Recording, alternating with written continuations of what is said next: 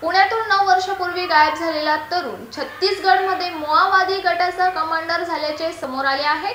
याबाबत छत्तीसगड पोलिसांनी जाहीर केलेल्या मोआवादी यादीत त्या व्यक्तीचा समावेश आहे.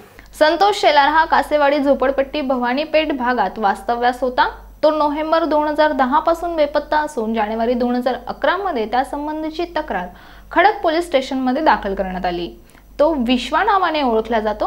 छत्तीसगड पोलिसांनी कार्यरत असणाऱ्या माओवाद्यांच्या यादीत विश्वा हा राजनंदन गावामधील तांडा विभागातील माओ कमिटीचा डेप्युटी कमांडर असल्याचे म्हटले आहे.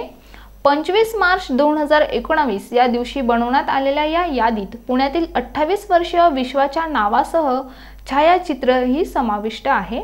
पोलिसांनी दिलेल्या माहितीनुसार तांडा विभागात चौदा व्यक्तींचा समावेश असून विश्वा याचा क्रमांक चौथा आहे. शिवाय त्याच्याकडे तीनशे तीन क्रमांकाची रायफलही आहे. संतोष वसंत शेलार ये मिसिंग व्यक्ती आहे.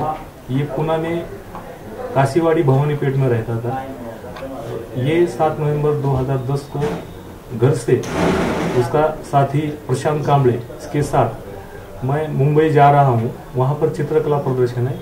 यह कहकर घर से निकल गया था।